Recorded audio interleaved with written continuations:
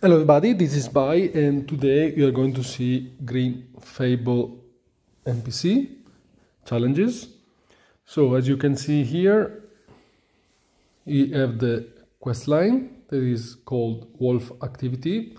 Just remind you that Grim Fable can be found in Weeping Woods, in the east side of Weeping Woods. So let's move to the challenges. Here we are. Then first one is uh, hide in a haystack at corny crops. Haystack is the pile of uh, food for horses. It's quite easy to find. There are several around. Then destroy three beds in Holy Hedges or Pleasant Park. Quite easy challenges.